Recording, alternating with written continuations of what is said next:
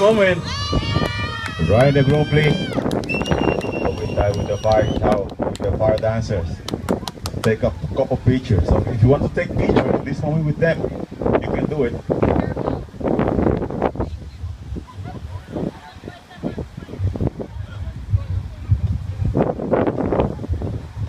Applause, applause, applause for Brian the group, please.